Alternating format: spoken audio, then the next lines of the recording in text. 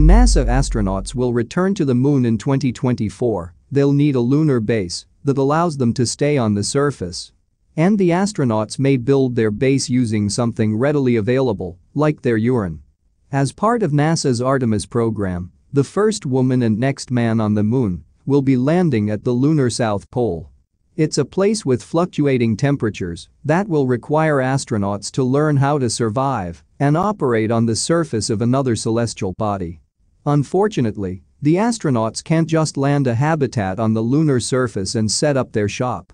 Instead, they'll have to build a safe habitat to protect them from radiation and extreme temperature ranging from negative 9 degrees Fahrenheit to negative 313 degrees Fahrenheit.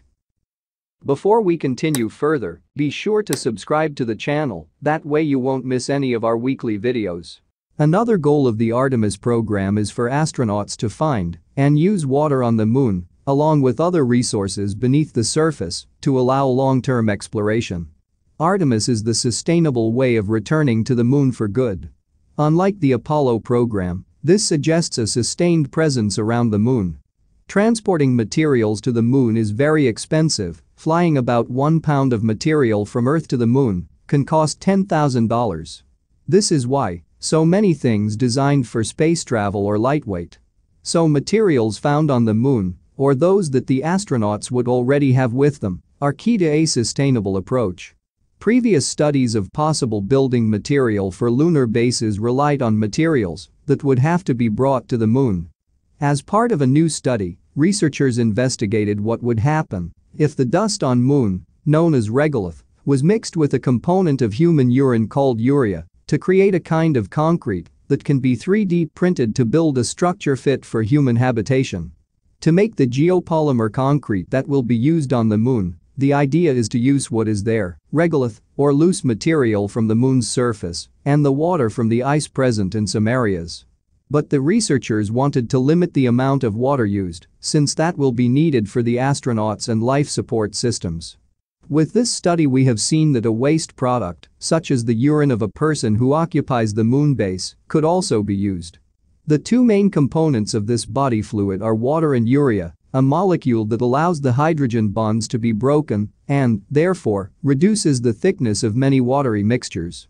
The researchers decided to test if urea could be used as a plasticizer in the concrete, which can soften the mixture to make it more flexible before the concrete hardens.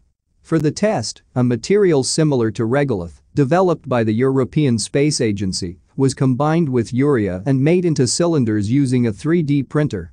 Other common plasticizers, like naphthalene and polycarboxylate, were also mixed with regolith and printed in the same way for comparison.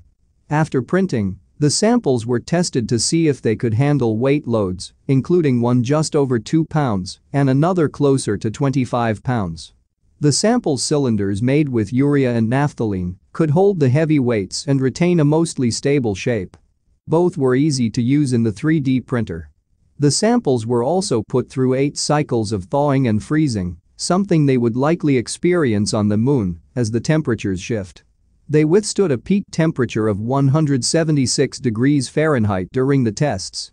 Now they want to test how the samples would react in a vacuum, simulating the most severe conditions on the lunar surface to see if compounds might evaporate or if temperature variations could cause cracking. They also want to test if the concrete could handle bombardment by meteorites and provide proper shielding from levels of high radiation.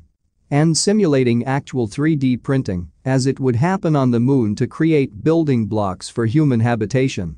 They have not yet investigated how the urea would be extracted from the urine, as they are assessing whether this would really be necessary because its other components could also be used to form the geopolymer concrete. It has been 50 years since humans first set foot on the moon as part of the Apollo program. But as stunning of a technological and scientific achievement as Apollo was, the current Artemis lunar exploration program is perhaps even more ambitious. Not only does NASA plan to return humans to the moon for the first time in a half century, the long-term goal of Artemis is to establish a crewed outpost on the lunar surface by the end of the decade. Hey guys, thanks for watching. If you liked the video then make sure to subscribe to our channel